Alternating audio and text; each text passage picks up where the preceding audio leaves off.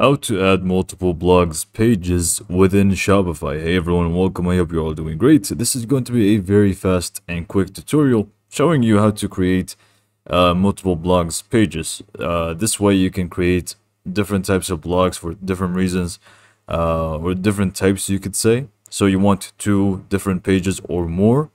So I'm just going to show you exactly how to do so. Now, uh, creating a blog post, you would want to go to blog post over here and when you actually go ahead and create blog post from here, um, you would want to go scroll down a little bit and you will find this section here, which is the blog section.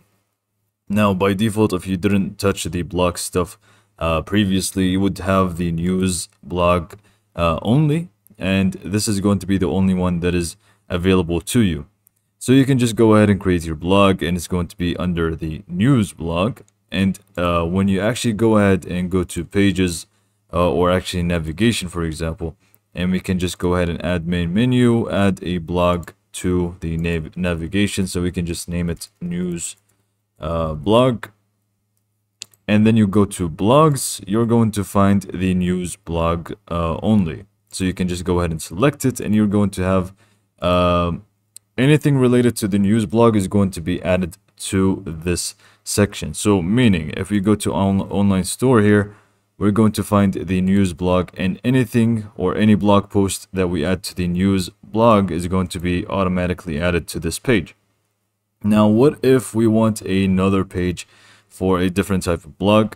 It's very simple. First and foremost, we want to go to blog posts and we want to create a new blog post.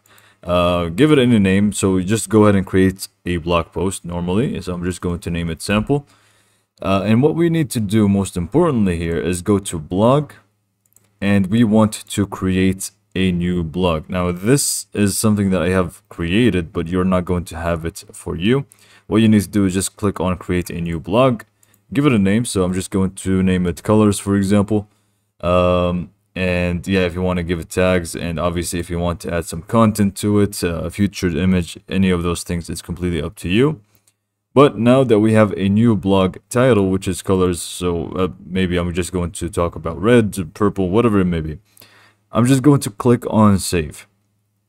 And now that i have created a blog post for a for a completely new blog which is colors if I go back to navigation, for example, and I go to main menu, and I just go ahead and add a new blog uh, or menu item, which is I'm just going to name it colors uh, blog.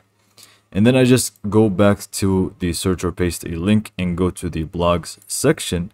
You're actually going to find this new one, which is the colors one for me, but whatever name you give it is going to be there. So if you just select that, click on add, uh, and just go ahead and save and I just need to make sure that that the blog post is uh, not hidden but visible. Let me just go ahead and save it.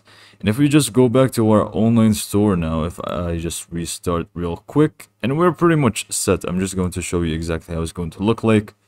Uh, on the top here, we can see now that we have the other uh, blog here, which is the colors blog, and you can see the blog posts are starting to show up in this blog page.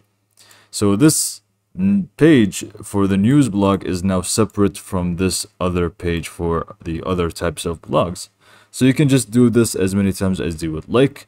Hopefully you found this video to be helpful and thanks for watching.